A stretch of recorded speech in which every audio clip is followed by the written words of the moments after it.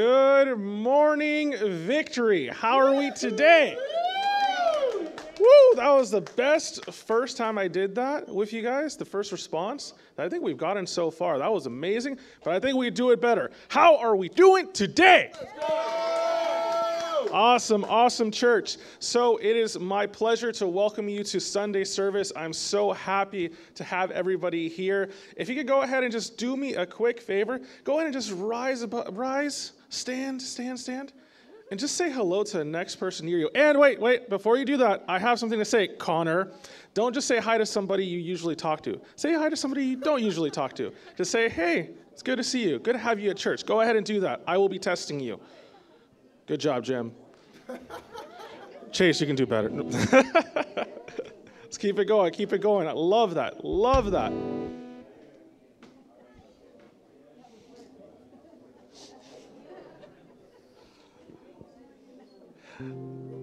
All right, now we can go ahead and start shuffling back to our seats, shuffling back to our seats. And the reason I had everybody do that as you kind of just close out your greetings is because there is something beautiful in Christian fellowship that you can't really get anywhere else in the world. And the reason why I made you talk to somebody you usually don't talk to is because even though you may not be texting each other every day, even though you may not be giving each other a call, you still have that unity because of Christ. And there is love to be shared there. So as we walk into this service, I want you to have that in mind that each and every single one, single one of us is connected by the love of Jesus Christ. As we go into this service, have that first and foremost in your mind. Now, one thing I want to make a quick little announcement before we get into the proper announcements. We have something special planned right after service today. I would, me and David, we'd love for you to attend and just be behind us in that moment because it's going to be a beautiful time. So, right after Sunday service, we have an exciting development that we want to share with everybody within the church. Now, as we go into the proper announcements, first things first is we have our church programs. Right over here, the thing I'm holding, not my phone, you don't get a free phone, I'm sorry, but you get a free program. In the free program, we have a tear off sheet. In that tear off sheet, you can go ahead and get plugged into our church community, can ask for prayer requests, you can go ahead and ask for information regarding small groups. We encourage every single person to fill out that information so that we can pray for you, so we can get behind you, so we can get you plugged in.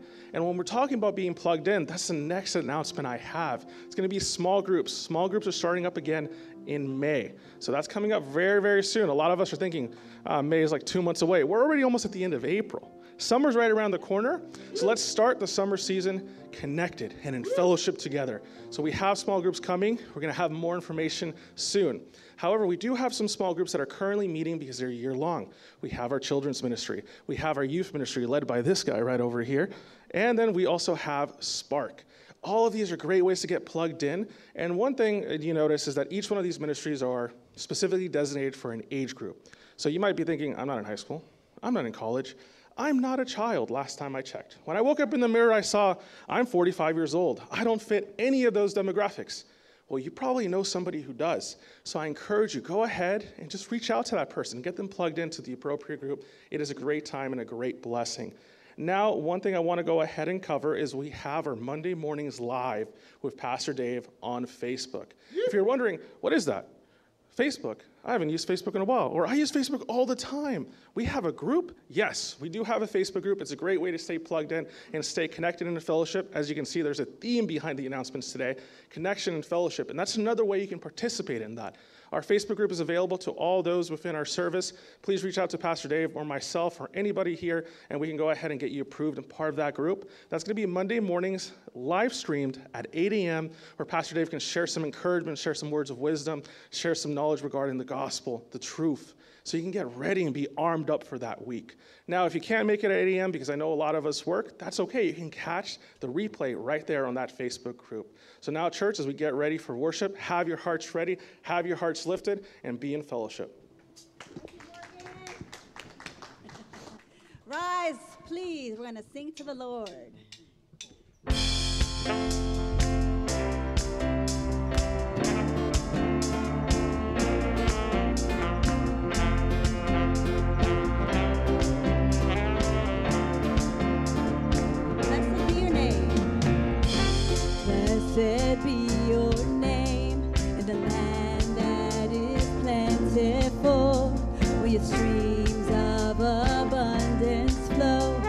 Blessed be your name. Blessed be your name when I'm found in the desert place. Though I walk through the wilderness, blessed be your name. Every blessing you pour out, I'll turn back to praise.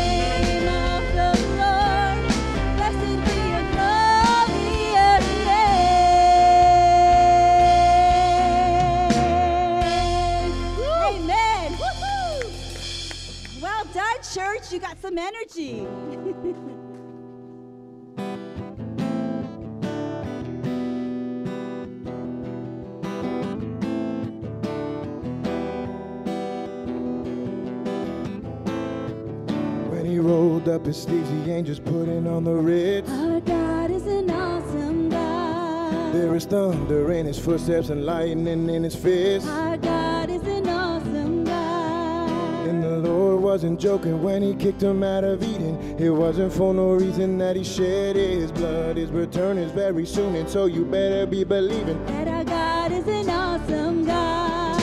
Our God is an awesome God. He reigns from heaven above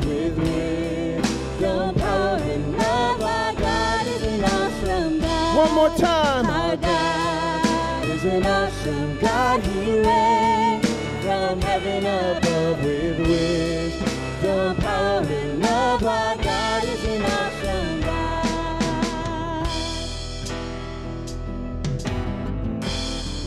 When the sky was starless in the void of the night, Our God is an awesome God. He spoke into the darkness and created the light. Our judgment and wrath He poured out on Sodom, the mercy and grace He gave us at the cross. I hope that we have not too quickly forgotten that our God is an awesome God. Sing it! Our God God is an awesome God. He reigns from heaven above with wisdom, power, and love. Our God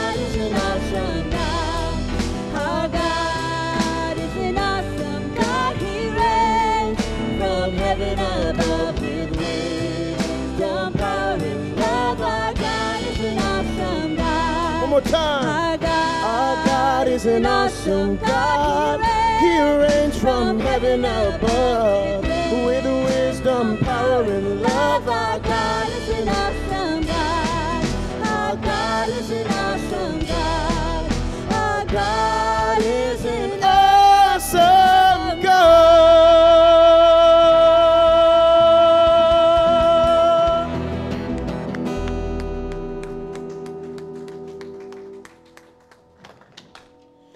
Thanks, worship team. That was beautiful. Go ahead and take your seats for a minute. We're going to go ahead and, and go to the Lord and, and take communion in just a moment. I just kind of want to set us up to that, for that. Um, we're so glad that everyone's here. My name's Dave Lanto. I'm the lead pastor here at Victory. We look forward to a great day. Worship team, you're sounding great. You guys all look great. You guys are ready to worship the Lord. And so um, the Lord's Supper is one of the, the, the practices that we do as Christians to help us remember why the, why the faith is important, why we walk with Jesus, why Christianity is a thing.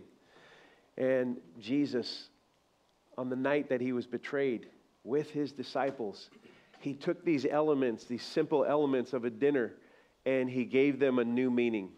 As they took the Passover meal, the Jewish Passover, Jesus and his disciples gathered together, and Jesus um, said to his disciples, He took the bread and he took the cup. He said, These two elements, and he took a moment to give them new meaning, and that new meaning was to rem- remind him of what he was about to do. What he was about to do. His disciples had no idea about the cross and how that would play out, and how important that that would be that when Jesus went to the cross, in one sense, you can think about that as the hinge of all human history. When Jesus went to the cross, all of creation held its breath while Jesus was crucified on the cross. Because from God's perspective, that was eternity in a snapshot, the meaning of all eternity in that moment. And Jesus, he went to the cross willingly as a sacrifice. And he told his disciples that night, before he did it, he said, I want you to do what we're about to do in remembrance of me, to remember my death. He wanted his disciples from that day forward to remember the sacrifice that he made, his death on the cross that led to his resurrection. And we just celebrated Easter. That was two weeks ago today that we celebrated Easter. And we celebrate Easter every Sunday is the reason why Christians gather on Sundays is because every Sunday is like Easter, where we celebrate the resurrection. We celebrate his death and his resurrection. So, in a moment, you're going to be able to come down the middle. The elements of, of communion are set for you here. And um, as you come, take the bread and take the cup and take it with people you're sitting with, or go back to your seats, or find a corner of the room where you can worship the Lord with communion together. And Jesus wanted us to remember his death because that is the hinge. Because that is the thing that if Jesus didn't die and then raise, there would be no reason for us to be here today. Mm. There would be no Christianity. Mm. But Jesus rose. And so we celebrate his death and his resurrection, and we remember what he did for us. And so in a moment, you'll be able to come and take the bread and take the cup. May you have this, these few moments of, of meaningful reflection on the cross to celebrate together. I want to pray for you as you come. Our God and our Father, I pray that you be with your people as we remember your death, Jesus. As we remember that you sacrificed yourself so that we could have freedom from sin. We could be set free from sin. Lord, there's a world that doesn't even know they need to be set free from sin. There's so many people who don't even realize being set free from sin is everything. And so, God, I pray that as we honor you in taking communion right just now, that we would remember your death and remember why you went so that we could have freedom from sin, shame, and death in Christ's name. We practice open communion here at Victory. So you can come, if you're a Christian, you're already a believer in Jesus, come and share communion with us. If you haven't yet given your life to Christ or put your faith in Jesus, it's okay to just stay seated um, and while the rest of us take communion. God bless you as you receive the Lord's Supper.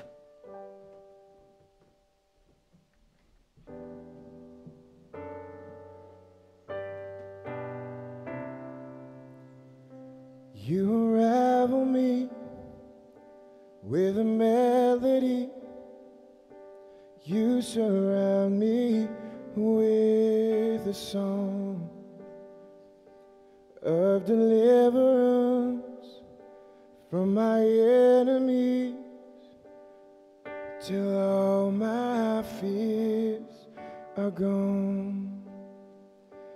I'm no longer a slave to fear.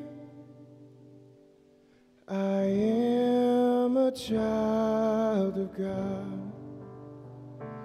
I'm no longer a slave to fear. I am a child of God. I'm no longer a slave to fear. I am a child of God. From my mother's womb, you have chosen me. Love has called my name. I've been born again your family. Your blood flows through my veins. And I'm no longer a slave to fear.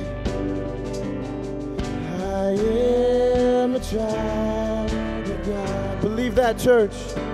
I'm no longer a slave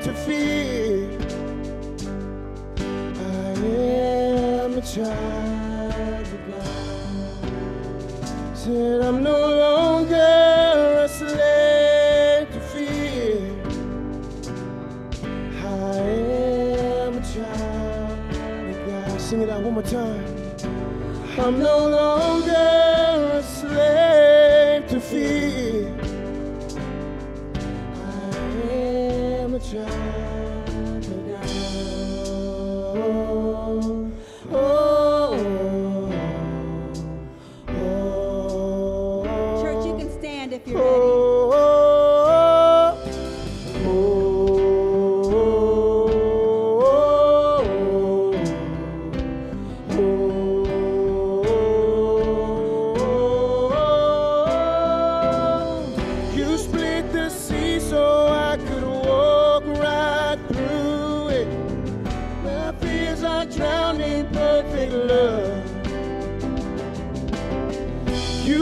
rescued me and I will stand and say I am a child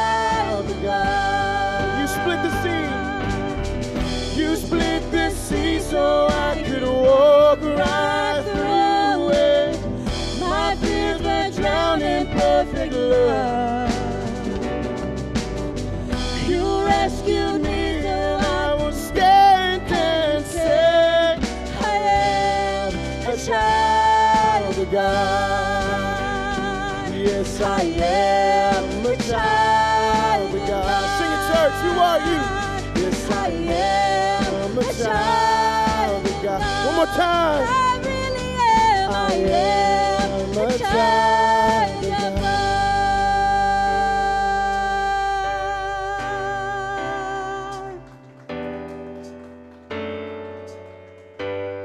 God. Sing together.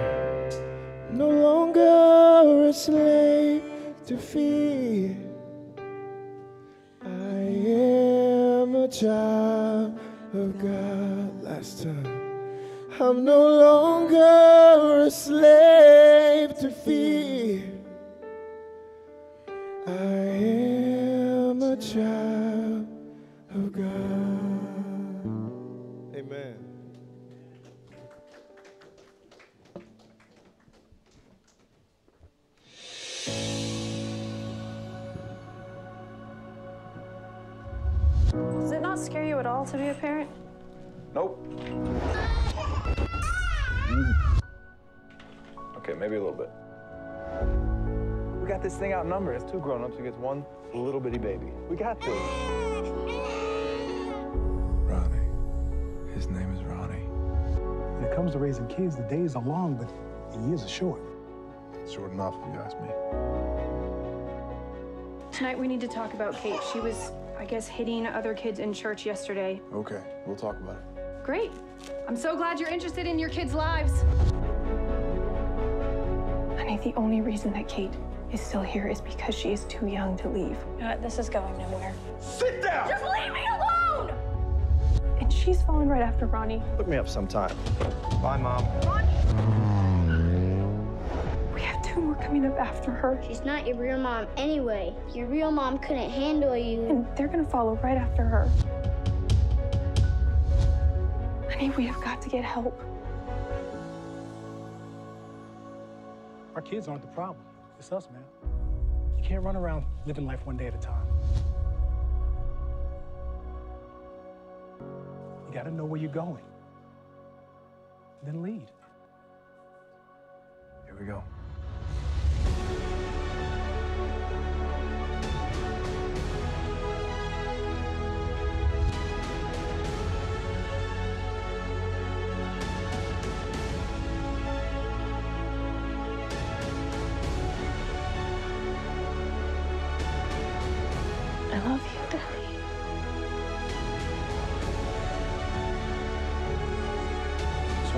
That will be your legacy.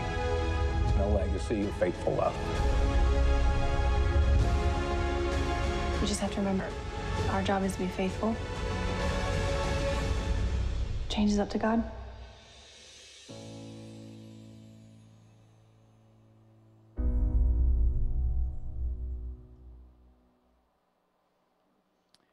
Good morning.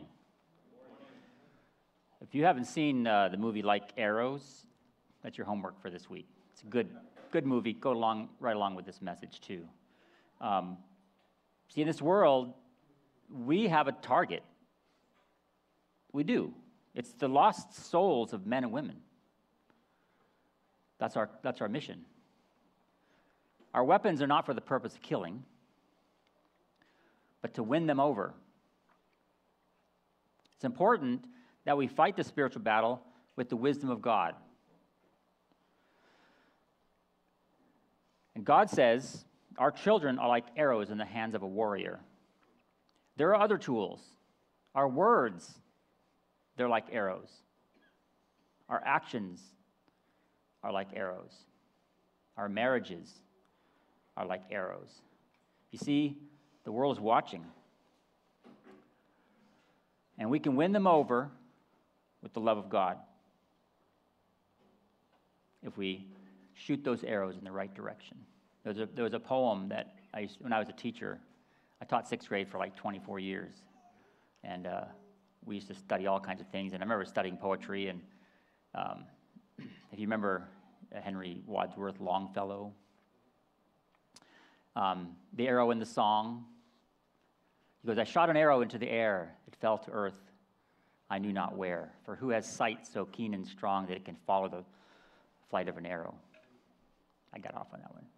So, it's, so it says, For so swiftly it flew, who could follow it in its flight?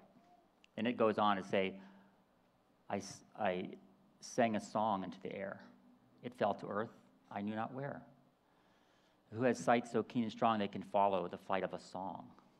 And then he goes on to say, Long, long afterward, in an oak, I found the arrow still unbroke, and the song I found in the heart of a friend from beginning to end.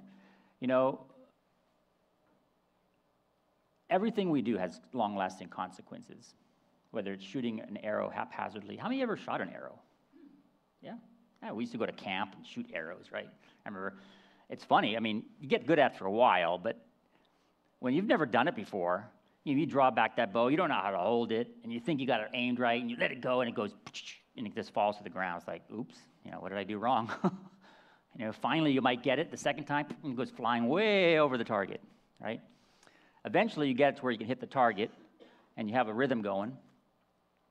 Uh, but shooting an arrow you have to get the target, right?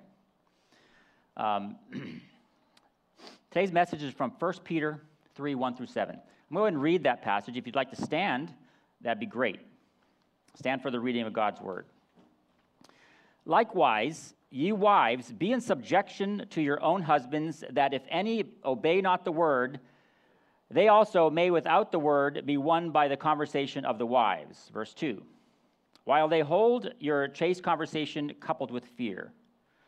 Verse 3 Whose adorning let it not be that outward adorning of plaiting of the hair and wearing of the gold or putting, of, putting on of the apparel, but let it be the hidden man of the heart in which in that which is not corruptible, even the ornament of a meek and quiet spirit which is in the sight of God of great, great price. For after this manner, in the old time, the holy women also, who trusted in God, adorned themselves, being in subjection unto their own hands, uh, unto their own husbands. Even as Sarah obeyed Abraham, calling him Lord, whose daughters ye are, as long as ye do well, and are not afraid with any amazement.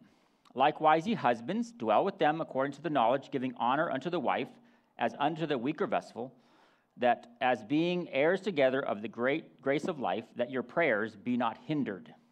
You may be seated. Let's pray. Father, a lot to unpack here. Uh, Lord, help me to convey your word in a way that um, speaks truth and is not clouded with per, uh, perceptions that might be uh, misguided or, or wrong. Uh, Lord, this is a difficult passage for many, and especially in our culture today. And I pray that you would uh, uh, honor me as I honor your word. And I pray this in Jesus' name. So Peter begins with the word likewise. Now, when you use the word likewise, it's usually talking about something you've already said or just said. Likewise, wives. Likewise, what? Right? Well, if you have to go back to the last week's message, and talk about what he was saying. Peter has been writing to these uh, exiles to live their lives in such a way so that the world will see their good deeds and will glorify God. They were, Peter was kind of exhorting them to live their lives. Uh, if, if you go back and look at uh, 1 Peter chapter 2, verse 12, having your conversation honest among the Gentiles, that Whereas they speak against you as evildoers, they may, by your good works, which they shall behold, glorify God in the day of salvation. Peter told them to yield to every human authority. He said, Submit yourselves to every ordinance of man for the Lord's sake. In other words, obey the law, whether it be to the king as supreme. You're in a foreign land, you've got to follow the law there. Honor everyone, he says, and, to, and, and yield to our masters who are over us. Uh, honor all men, love the brotherhood, fear God, honor the king. Servants, he says, be subject to your masters with all fear, not only to the good and gentle, but also to the froward. In other words, those that aren't treating you as well as they could. Be a Christian. Man, we need to stand out, right? And how much more if we are just living according to God's word and being and falling in line with what God wants us to do. 1 Peter 2:15 For so is the will of God that ye dwell that you that ye, that with well doing ye may be put to silence the ignorance of the foolish men. In other words, when you are blameless, they can't I mean they can say a bunch of things about you, but none of them will be founded in any truth. They'll know for sure, you know, I can't talk about this guy. He's he's always doing the right thing, right? They might be looking for things to blame on you, but they can't find anything. Why? Because you're blameless. Now, therefore, Peter is commanding wives to yield also. And this is what verse 1 says. Why he says likewise. He says, Wives are to be subject to their own husbands, wives are to yield to their husbands. God's way is wiser than men. You see, we have a target the world. The world is watching. And if we allow God's word to guide us, we can win the world. Maybe not all, but we'll win a lot of them. And you go, well, this, this, this passage is really hard for me. You know, husbands, you know, you have to obey your husbands and all that kind of stuff. understand what God's word is saying. Let me try to explain it. We have to have a different behavior. Lifestyle evangelism, evangelism carries itself even to within the home. Now, notice how Peter is, is structuring this, right? How he comes off of chapter 2 and goes likewise to wives. He's speaking to a certain type of wife here, right? Um, our holy conduct is not simply when we are outside of our homes, but remains in the home as well. We are evangelists in the home as well as out of the home. We are preachers with our actions and our words in the home as well as out the home, and not just with our actions and our words, but everything about us. Verse 1 pictures a scenario where a wife who has a husband who is not obedient to God, not obedient to God's word, and Peter's instruction is to win the husband over by her conduct. Wives, your godly lives will speak to them without any words. Uh, you're going to be that wife, uh, unlike any other wife found in the world. You are uh, not going to be the one that's always complaining and nagging. Because obviously, there are a lot of guys are worthy or they're, they're well deserving, I should say, of nagging. You know, even myself, I'm sure, right? I'm not going to stand up here and say I'm perfect, and I probably deserved a lot of nagging and a lot of complaining. Right? But wives, this is, this is to you. You cannot excuse yourself from acting in righteousness and yielding just because he's not acting the way he should. You see, you have a responsibility too. Just because he doesn't act like a Christian does not mean you cannot act like a Christian. In fact, it's all the more important that you do act in a godly way in your marriage, marriage relationship. Now, this, wor- this verb submit, let me just tell you a little bit about this verb submit. It comes from the Greek military term, actually. In fact, there's a lot of military uh, terms used uh, in the Bible. You know, all the metaphors and stuff like that, you know, so many of them, right? Put on the whole armor of God, all these things that, you know, you can read throughout the scriptures. There's a lot of metaphors regarding how we ought to behave spiritually as a Christian, and they kind of like go along with military terms. Well, this is a military term. It comes from the Greek word, if I can re- read this right, uh, hupotasemenoi. I probably didn't pronounce that right, but there you go. You can look it up, right? It means to draw up under. See, wives are not to be passively subservient, but vigorously active that's what it's about. You see, it's a military term where think of a, um, a garrison or a military group of people where they're all working together as one, right? That's exactly what it means. You're not waiting for some, him to tell you what to do. That's not what, it, that's not what sub, submission is. You're not sitting there waiting for this. And this, this, this has been a problem in our culture, right? And sometimes Christians even use this to their defense to be abusive. I'm telling you, that's not the way it's intended.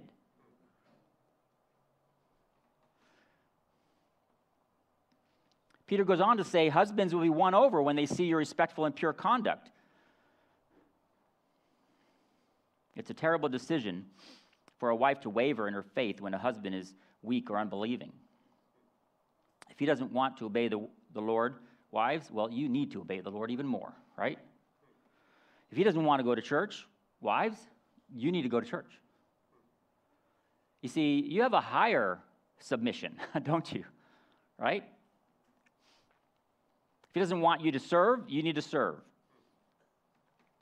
You can be respectful, you can be yielding while maintaining your pure conduct. That's the important part. Think about that. You can still be respectful, you can still be yielding, you can still, man, you know what?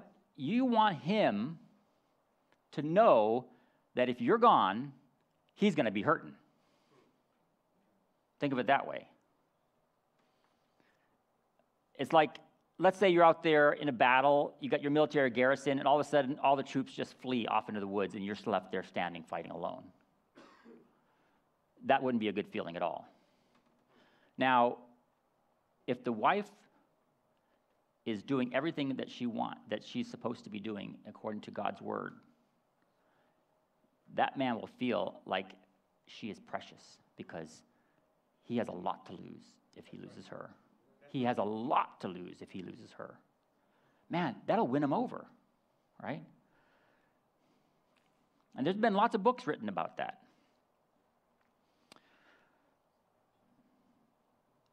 Wives are to do good to, uh, for the Lord and to do good for the husbands, even if the husband is not a believer. You see, this is way different behavior, isn't it?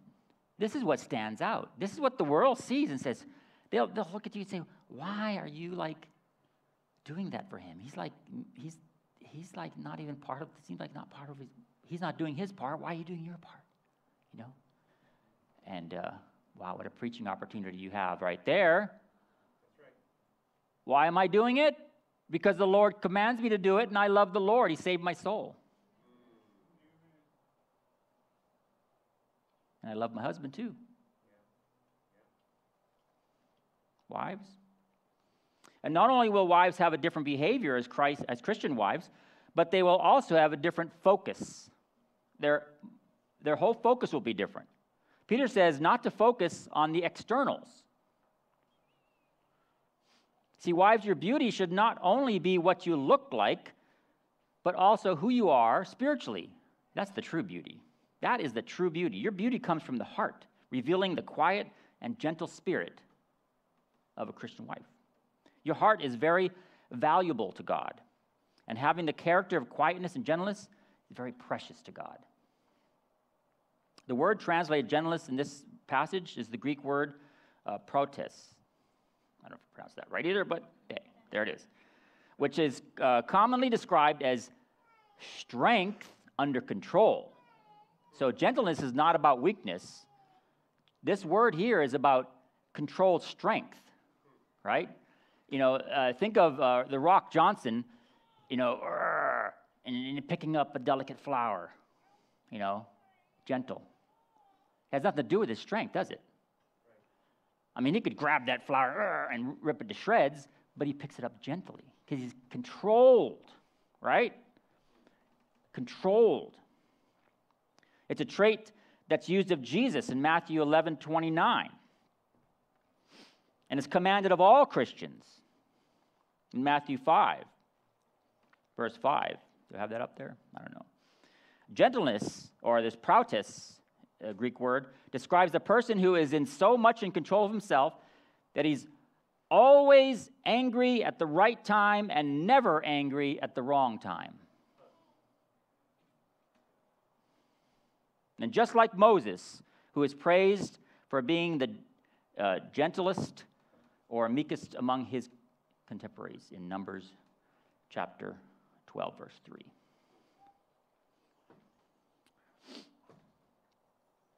Now, this text has to be taken to an extreme. Some think, uh, or has been taken to an extreme. Some think that is saying that wives are not to focus on their outward beauty at all, that just focus on your inner beauty. No, it doesn't say that, right? The sentence has a but or not but kind of construction, not only, but also. If you know language, that's the way conjunction works. Not only this, but also this, right? Wives, your adorning should not only be the external, the hair, the jewelry, the clothing. Make yourself pretty, right? After all, when you guys met for the first time, right? Wasn't it physical attraction part of that? Amen. Right? I mean, if they were looking their terrible as they haven't taken a shower in a week, and you're like, hi, I like you, uh, right?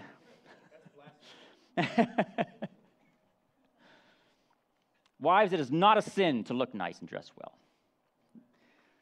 and to make your house look nice. You know, too many pillows is not a sin. but understand this your greatest beauty, your greatest beauty is the internal, right? Your greatest beauty comes from your godliness. The world emphasizes so much on external. Every TV show, every commercial, it's all about external, right? Social media, you know, it's all about external, what people think about your look and stuff like But what matters to God? Your godliness. What makes the difference in your marriage? Your godliness.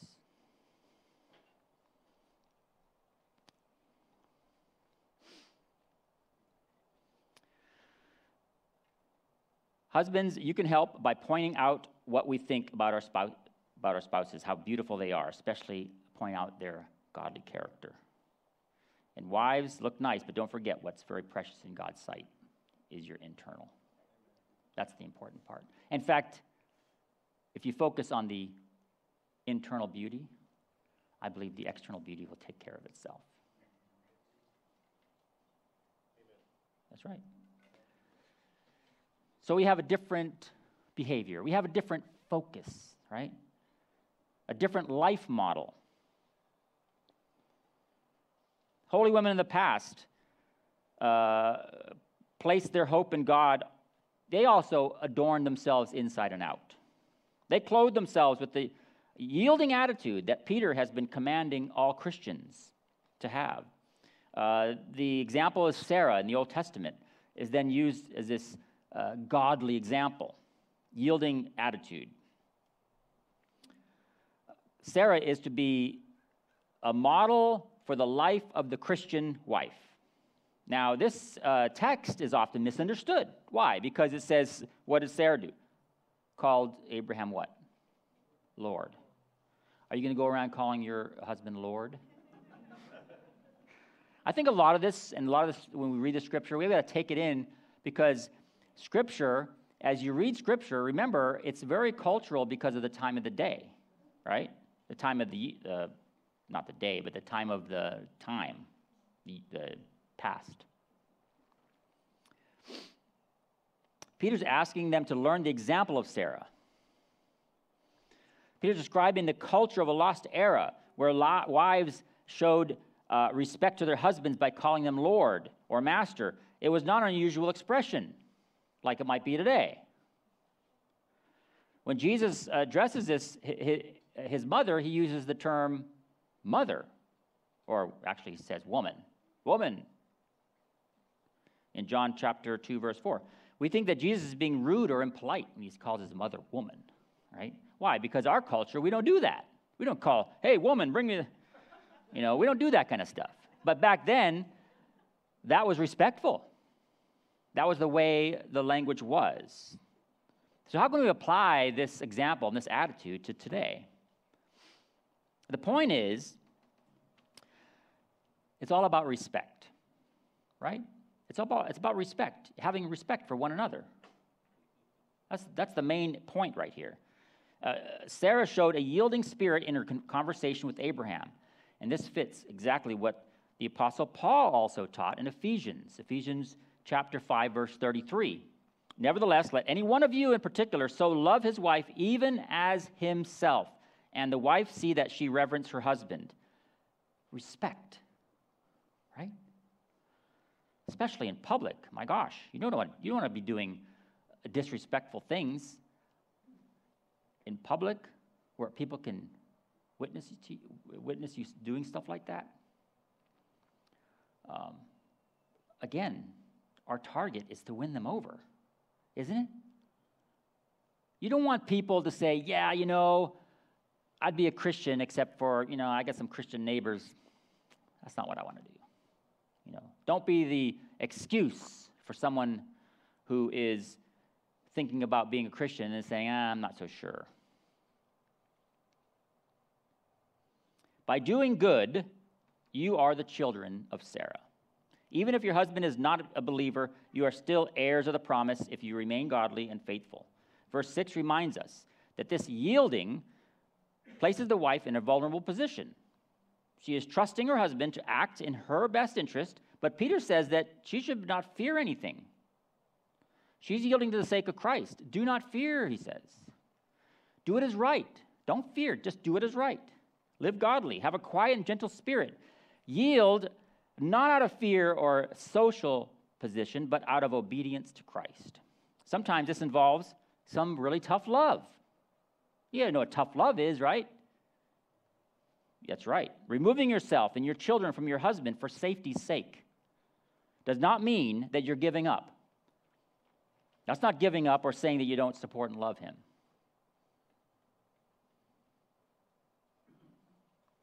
Some husbands need that kind of wake up call.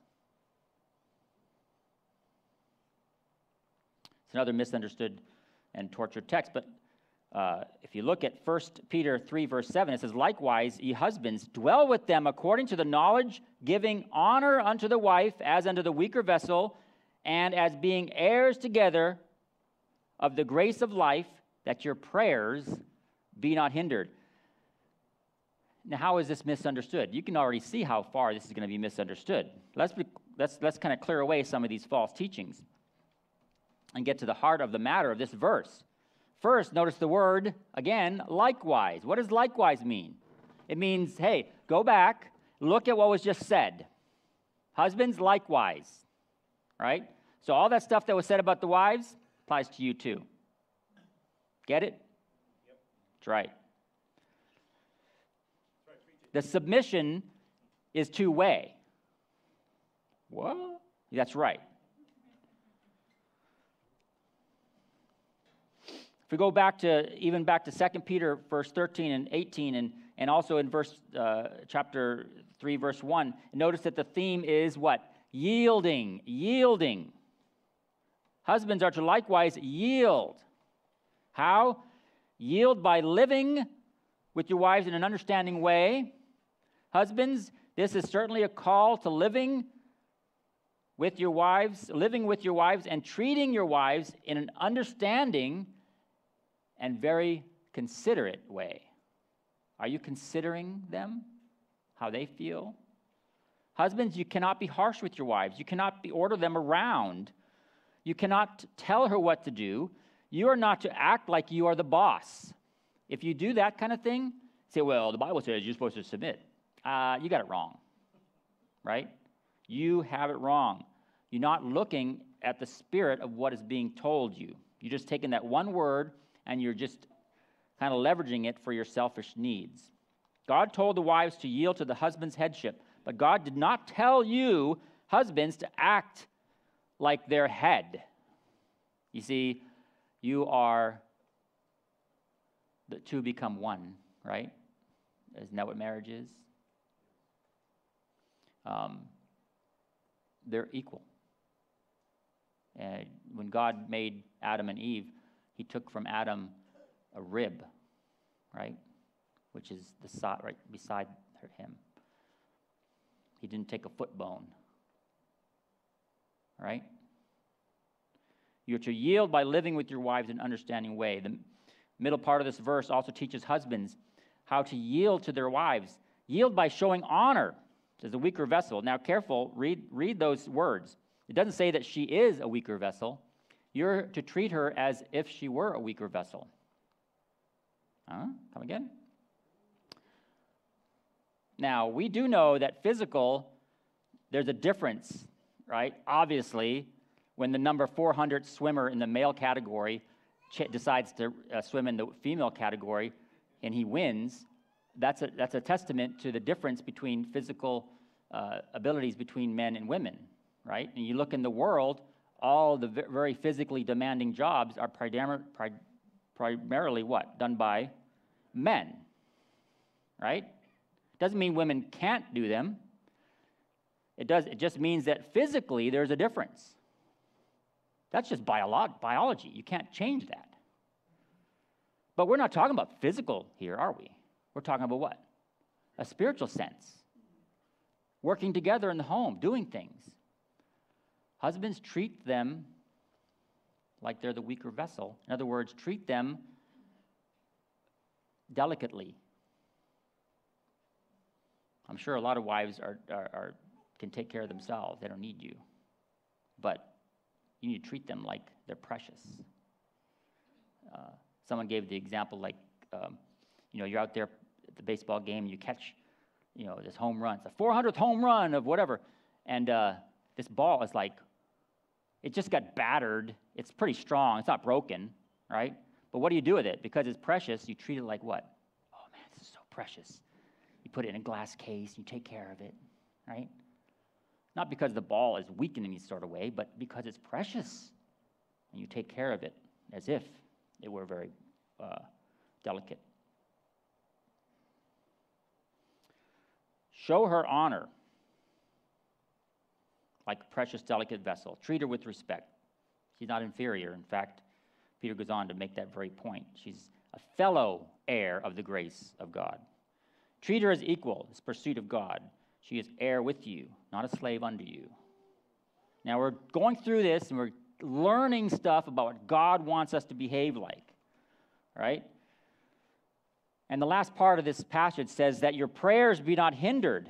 When husbands, when you're treating your wives with honor, and, and if you're not living with her in, in uh, compassion, if you're not treating her with honor, you're not living with her in compassion and understanding way, and when you're not showing her honor as a fellow heir with you, guess what? Your prayers are blocked. You think you're going to be all holy and pray at the same time? You, you're not following God's word here. You see, we need to clear our souls and our hearts of sin and come to God and know that we're right with God. And it starts here. This mutual love and respect is teamwork, it makes a godly marriage, one that targets the world and wins over those lost souls. And your children are part of that plan too. Psalm 20, 127, verse 3 and 5. Lo, children are a heritage of the Lord, and the fruit of the womb is his reward. As arrows are in the hand of a mighty warrior, so children are of the youth. Happy is the man that hath his quiver full of them. You have your quiver full of those little kids. The more the merrier, right? They shall not be ashamed, but they shall speak with the enemies in the gate. If you have, if you have a godly marriage, if your marriage is godly, you're doing the right thing, your children will grow up and be just like those arrows, the arrows that fly into the world, right? And with all the influence and love of God's message, they will hit their target and they will change this world for God. That's what you want them to do. You don't want to release a pack of devils. You think that's going to help? You want to release a pack of arrows that are targeted, right? Proverbs 22 uh, 6 Train up a child in the way he should go, and when he is old, he will not depart from it. Now, you can disagree with me or disagree with this message, but if you do, you need to take it up with God. This is God's word. God wants his word to be not only in your hearts, God's, he, God wants his word to be in your lives and in your children's lives and in your children's hearts. He wants God, his word to be embedded not just in your head, but in your hearts and in your lives as you live out. Deuteronomy 6, verses 6 through 9. And these words which I commanded thee this day shall be in thine heart, and thou shalt teach them diligently unto thy children, and shall talk with them, and shall talk with them when thou sittest in thine house, and when thou walkest by the way, and when thou liest down, and when thou risest up, and you shall bind them for a sign upon thine hand, and they shall be as frontlets between thine eyes, and thou shalt write them upon the posts of thy house and on thy gates. You know what? I've been to some houses where there's God's words like plastered everywhere. Amen to that, right? But it's not just the fact that they have God's word posted. It's not just God's word on a sign or on a, picture frame or here. It's in their hearts as well, everywhere. God's word should be permeated in your home. And it's not on the screen, but if you continue reading past verse 7, finally, be of one mind, having compassion one of another. Love as brethren. We need to make a difference in this world. It starts with our marriages. It starts with our marriages. It really does. It flows into our kids, and as we shoot them off into the world like arrows, they make a difference. They make a difference in the world. Let's pray. Father, we thank you for your love, for your mercy, for your guidance. And Lord, help us to follow your word and to make a difference as we fight the spiritual battle and as we fight to win the souls of lost men and women. And we pray this in Jesus' name. Amen. Now, stay tuned. We have something special coming up.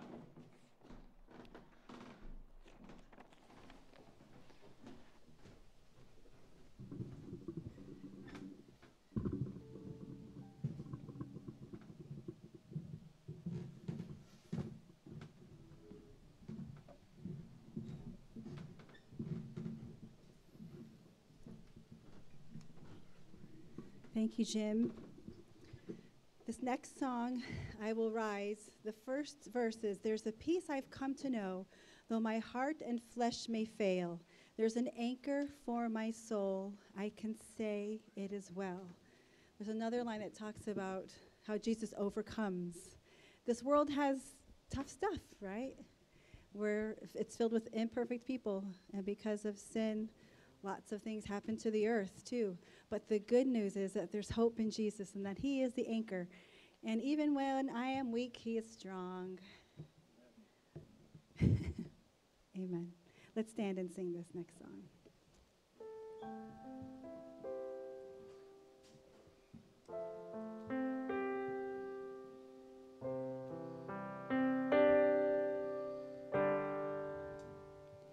There's a peace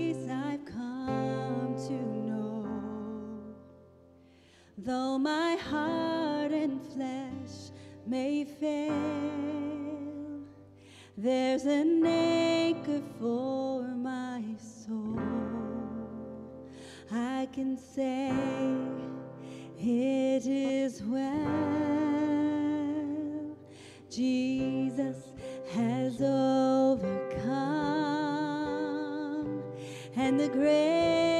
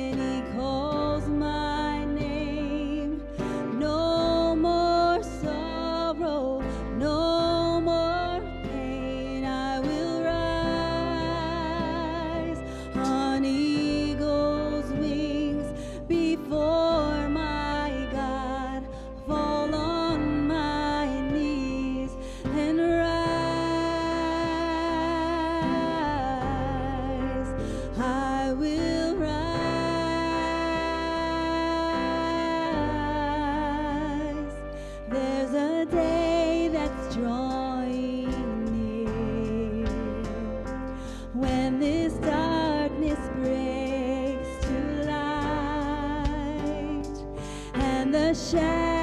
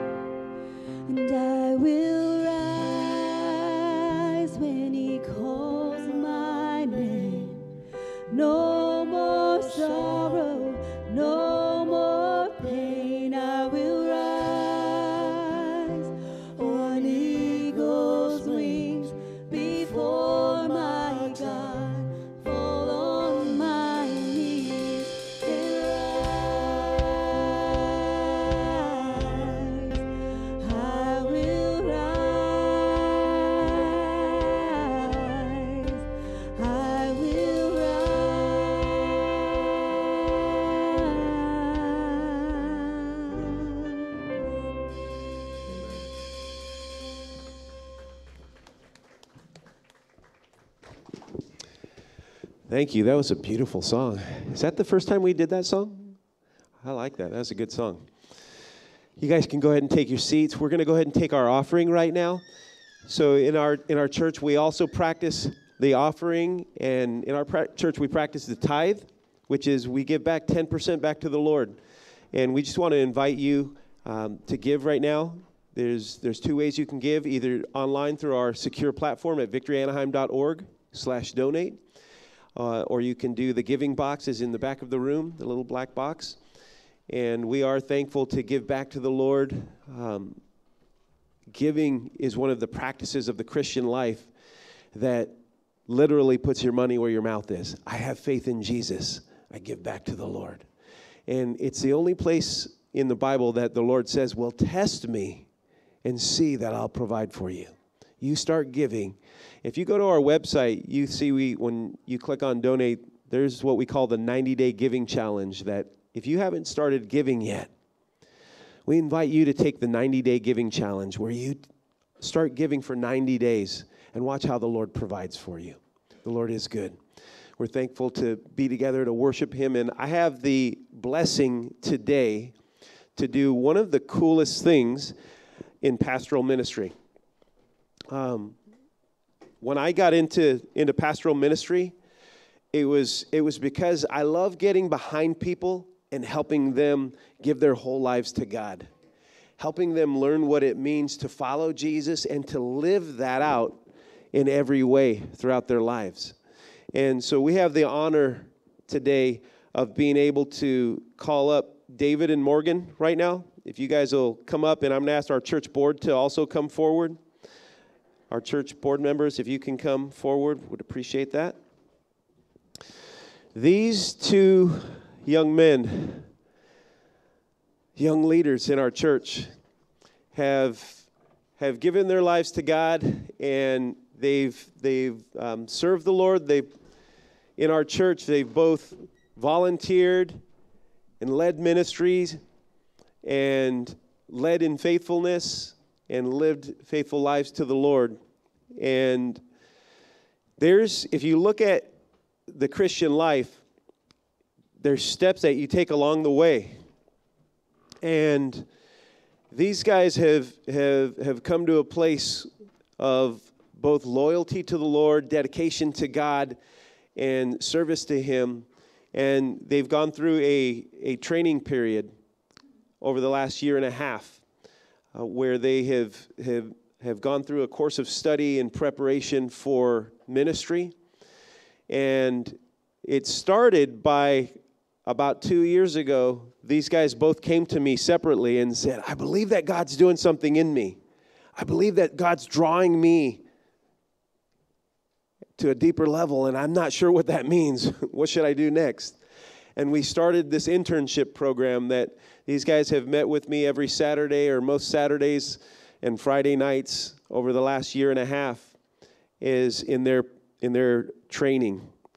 Uh, David said he, he's read more books in that year and a half than he read in his whole life before that. True. Going through college and school and everything. Um, our, our, our church board is standing here because these are the, the, the, the deacons and the trustees of our church, and we want to stand behind these two men as they take a step in, in, in take this step in their lives with God. And I'm going to read a scripture that David and, and Morgan, I'm going to read this scripture um, as a charge to you. All right? And so this, this is from, from the book of First Timothy, chapter 4, and verse 12. One verse. It says this Let no one despise you for your youth, but set the believers an example in speech, in conduct, in love, in faith, in purity. This is a message written to young leaders in the church. The Apostle Paul wrote this specifically to Timothy. And the reason why examples are important is because we need a picture of what we're aiming for. We need a vision for the kind of life that we aspire to live in Christ. And you too, and, and our, our congregation, as you're, and folks online, as you're involved or here to witness this, Their journey has, has, has kind of brought them to this point. And we want to recognize their achievements in their life with God, in their discipleship process, in both of these men. And as young leaders in the church, you have a high calling and a responsibility to form your hearts, your minds, your spirits, your bodies in the way of Jesus. You are men of God and you're called out from among your generation to lead in Jesus' name. So, Paul said to Timothy, Be an example in word. Your words that come out of your mouth are they matter because you are examples. And so let no words come out of your mouth that drag other people down. May your words only uplift everyone who hears your words. Your conduct is important because it's the way you live your life. What you do, who you surround yourself with, what is important to you. Morgan and David should all be with intention and never by accident. None of your conduct by accident as men of God. Conduct yourselves in such a way that your life is aspirational to the rest of us in the church. That we say we want to be like Morgan, we want to be like David in the way they live their lives. Your love life matters. Paul says to Timothy, be an example in love. Your love life matters because God is love. Your love life, I'm not talking about romance, and that's not what Paul is talking about here. Love is much more in depth than romance, although that's the way you love your wife was important. Jim gave us a message about that. Your love life begins with properly loving yourself. Properly loving yourself. Jesus said, Love others as much as you love yourself. Jesus knows it's important for us to properly love ourselves. So, love yourself, your emotional health, your spiritual health, your intellectual health, your physical health. All are important. The way you love yourself in such a way that you take good care of yourself in these ways. But also, Jesus calls us to love other people in the same way that we love ourselves take care of their well being, just like you take care of your own well being. Your faith matters. Paul said, be an example in the faith. Be an example in the faith because the world is dark. The world is dark and people are trapped in sin. Let your life shine with faith in Jesus and hope, the hope that comes from faith in Jesus. So live your life in such a way that faith is an example and a call and something that we aspire to, the faith we see in you. Your purity matters. The last thing that Paul said to Timothy be an example to other believers in your purity. Your purity matters because Christ already set you free from sin. Amen. And he paid the price on the cross for your sin. So, because he paid the price for your sin, sin no more. Your purity matters. Live a life that this is a calling that every believer has to live a pure life. And this is your calling in Christ's name. The, the, it's a discipline to set yourself out, apart in purity. I want to give you one other scripture. I'm not going to read the scripture, but Jesus tells us in Matthew 20 and verse 26 that greatness in God's kingdom comes through serving. From Jesus, we learn, from his example, we learn that l- the greatest act of leadership is being a servant leader. Leaders are called to serve those that they would lead. And I want to give you guys that, that, that, that thought because that's the way you lead through serving. Be the first to serve, be the first to show up, and the last to leave. Be the first one to love be the first one to help others. Don't wait for others, you lead the way. And so, leaders lead by serving. The most effective leadership is servant leadership. serving those under your care. We live in a world where leaders impose their demands on people, but Jesus calls us to a different way. We influence through serving, we gain trust through serving. So we have two gifts. William, if you wouldn't mind, William and Jim, if you could each grab a set of gifts that we have for, for you guys to recognize your accomplishments on your journey. And both these gifts, may have one set. Both of these gifts are resources that we want to put in your hands, okay? That we want to put these resources in your hands because the first thing is that I want to give to each of you the ESV study Bible. Um, it's the same Bible I, I preach out of, and um, I want to give you this this um, for yourself because every preacher needs a good preaching Bible, and so now you have the best preaching Bible. This is a, seriously no joke. There's a message in the early pages in there that I've written to each of you guys. So I didn't mark them. So if you have David's, make sure you switch with him. You can open it up and see who's. Make sure you have the right one. You got the right one? You got it right. Wow. Look at that. Unless Morgan calls you dad. No, no. The second thing I want to give you this is a contemporary handbook for weddings and funerals and other occasions that every preacher needs a resource like this to help you guys um, plan to do weddings and plan to do funerals and all the, all the occasions that a pastor would lead. They're, they're in there. It's a resource to you guys to help you along the way. Gentlemen, this is, this is a, a momentous day for you in your life, and it's a treat for me to have, have, have been um, leading you the way in, along the way. It's been a blessing. You know, I've been leading you along the way for a long time, David. Um, and on, I want to say here is with, with our board, the, the, with the blessing of the board and, and the support of our board, on this 23rd day of April in the year of our Lord 2023, we as the deacons, trustees, and leaders of Victory Anaheim do hereby license David Lanto III and Andrew Morgan, Andrew Morgan Morgan, to preach the gospel of Jesus Christ as the Lord leads you. Be servants who lead.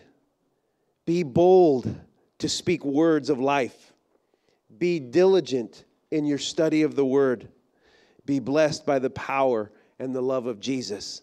Board, will you gather around as I just say a prayer on these guys? Our God and our Father, we bless these two young men as they dedicate themselves to you, as they take steps.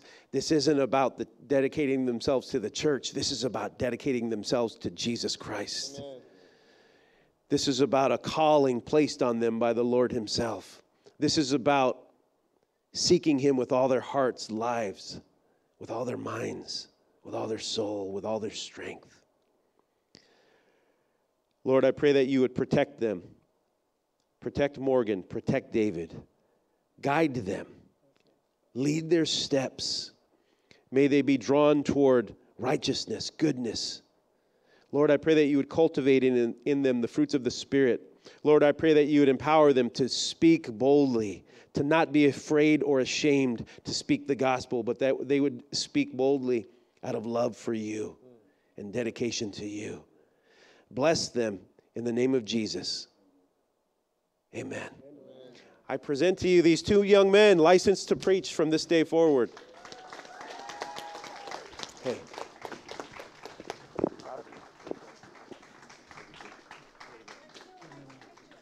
Oh, we want a picture.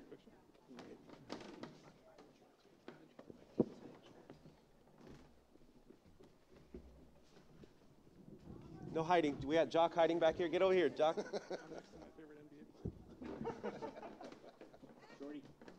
yeah, it's okay, Mom. You're all right.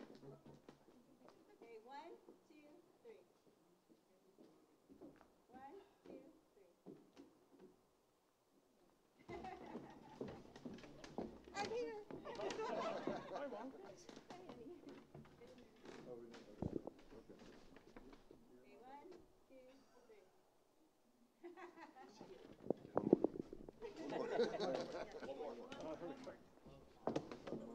mom. Oh, the other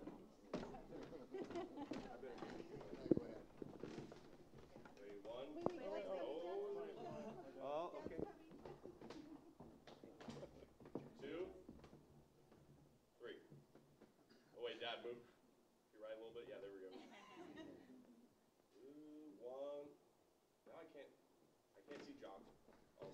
Jock and Henry? Taller. All right. One, two, three. All right. Thank you, guys. Thank you.